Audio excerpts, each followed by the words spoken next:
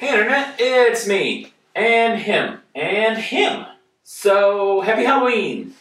Um, we decided to watch, and by we I mean I decided to watch Mousetrap, which is, for those of you that don't know, when Steamboat Willie entered the public domain, the trailer for this movie came out the following day, and it's a horror movie based on Mickey Mouse. And the trailer looked really good. And right off the bat, I know you can't say too many bad things because you worked with the writer, director, villain, actor. You just released like a few weeks ago in September the his latest movie that you filmed and edited. Yes. But Tyler and I can shit on this. And I gotta say, we're gonna. It wasn't very good. Um, Tyler, I will let you go because I know you're gonna be critical. I didn't like it.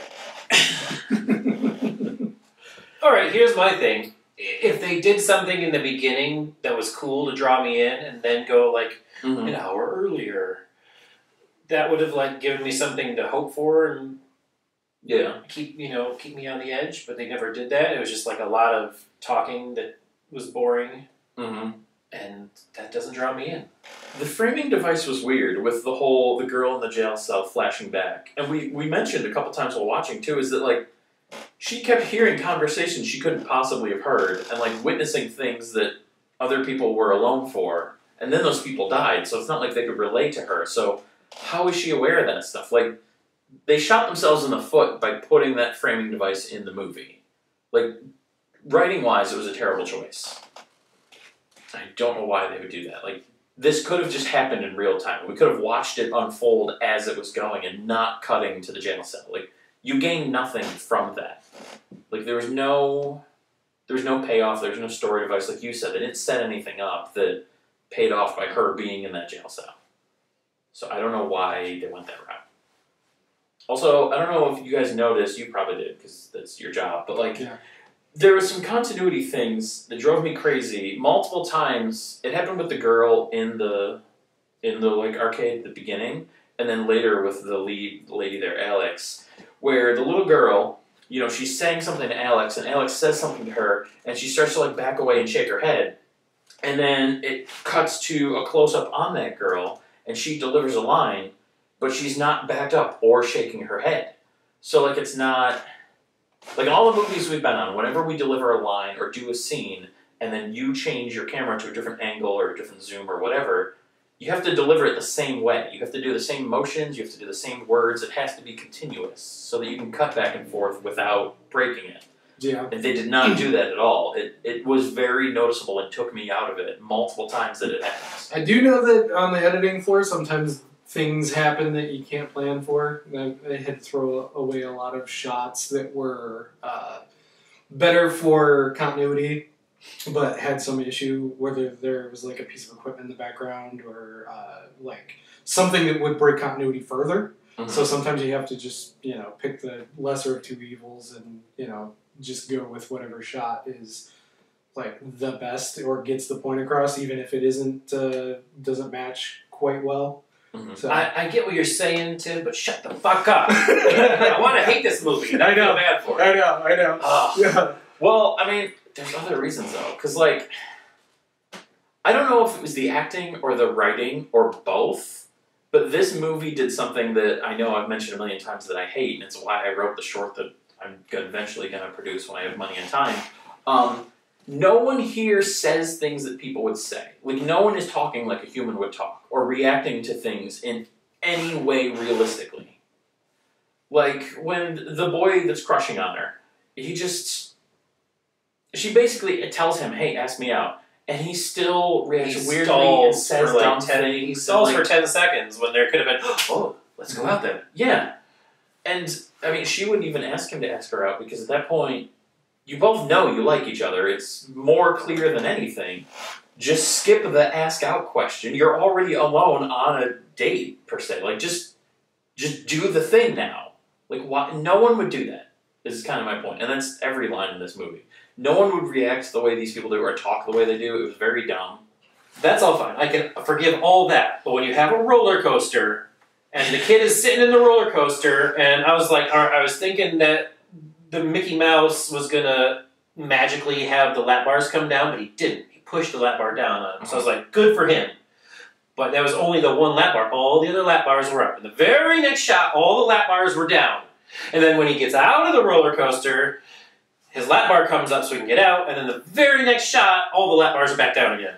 I can't forgive roller coaster continuity errors. No, not a second. Final Fuck this movie. I I will say that garbage. I will say that it felt like a missed opportunity for a cool kill because if Mickey can teleport, wouldn't it have been kind of cool if he's on the roller coaster and it's been going and he's flipping out because he's high as fuck, and then all Wait, of a sudden, was he? yeah, yeah, yeah, he made sure that everybody knew that multiple times. Uh, and then Mickey's like next to him, stabbing him, and then like it cuts to maybe a few minutes later when they discover him dead in the roller coaster or something. I know he was used later on, but they could have done one of the other random neck slits as opposed to, you know, just because I think they the, the you know Mhm. neck slicing was Yeah, they could have done. repetitive. I, I will say the one that went into the top of the head, it looked like it was like two shots edited really quickly together. Like Mhm. they just try, you know, stay in that same position, but like you know, come Yeah. down with the knife and then we're have a fake knife land in the head. yeah. That was cool because like it was like a blink and you miss it moment. I think I blinked right at that moment. Mhm. And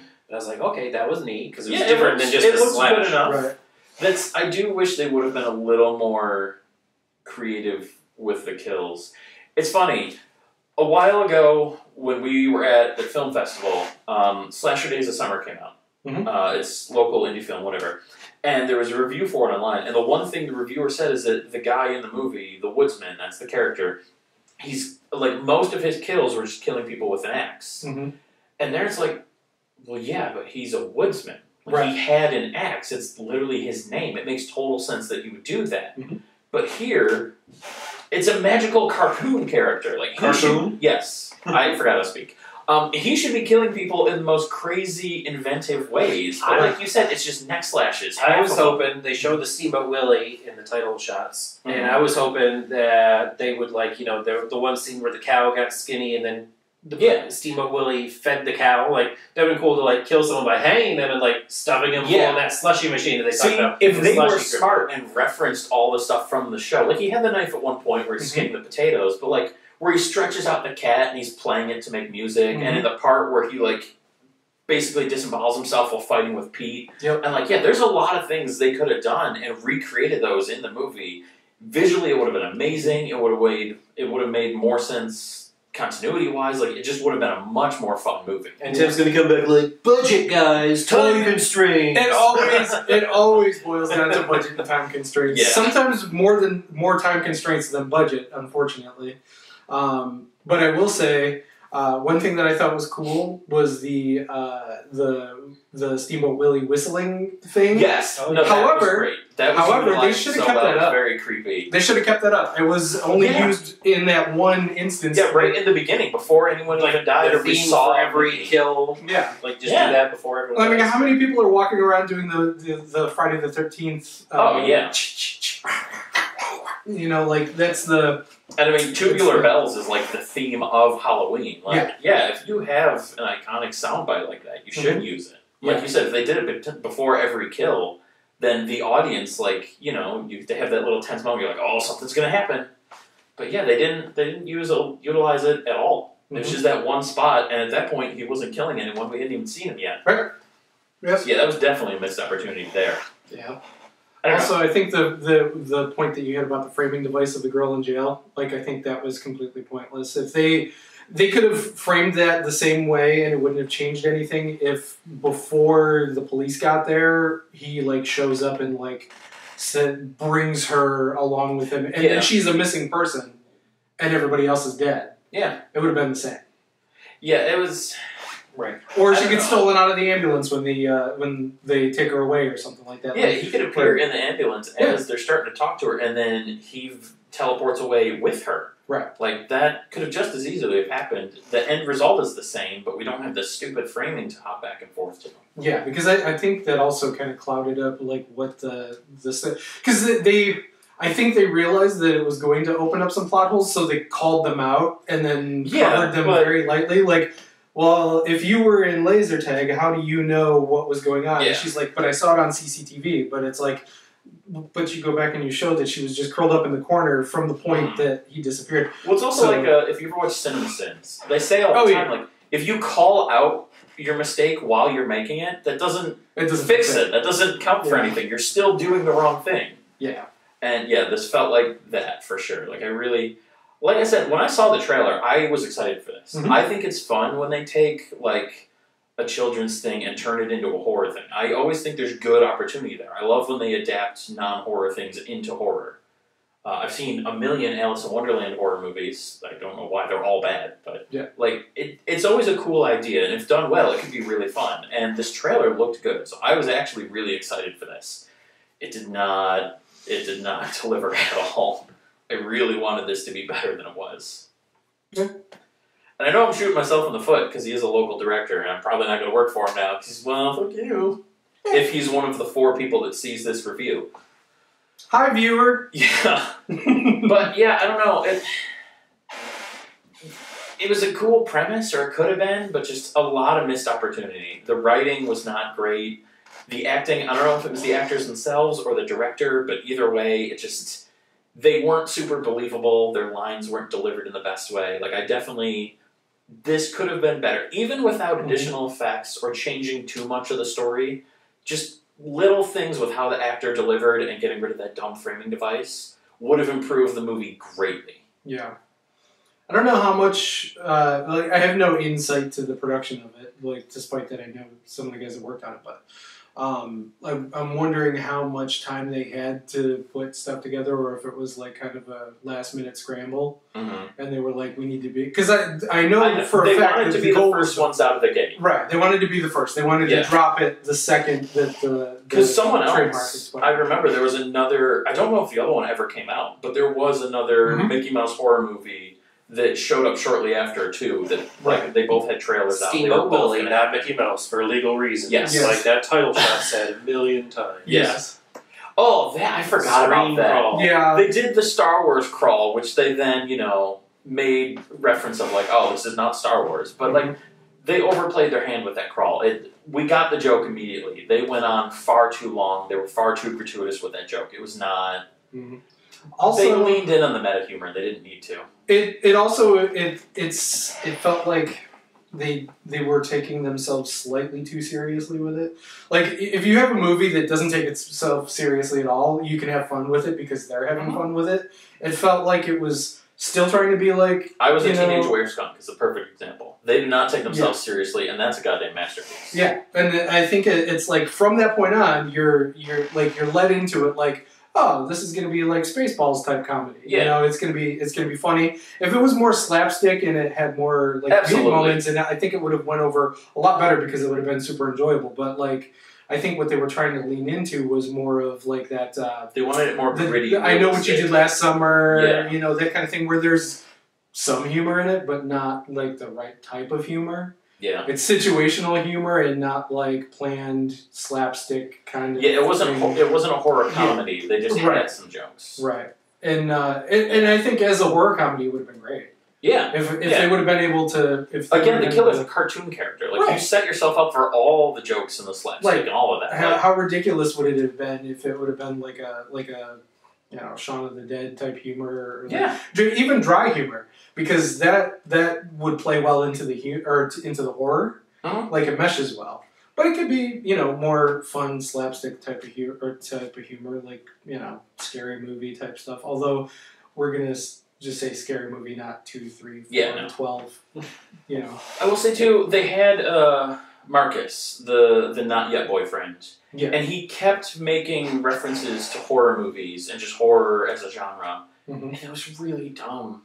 Like I didn't like I know in Scream, but that's the whole premise of Scream is that the kids in the movie are horror fans and they call out when people do things on the tropes. But that like that was a meta movie from the beginning and that was always part of their shtick. Mhm. This the movie wasn't doing that until the couple times that he brought it up. So it felt forced and out of place and really stupid for the character. yeah, Like I'm the biggest horror fan in the world, but if I'm actually being chased by some sort of ghost monster thing and I saw that it was supernatural, I'm not gonna be like, "Oh my god, guys, this is like in Friday the 13th." Like No, Oh, you're in the middle of a situation. You're gonna deal with that. You're gonna save the sarcasm and the quips for later. Mhm.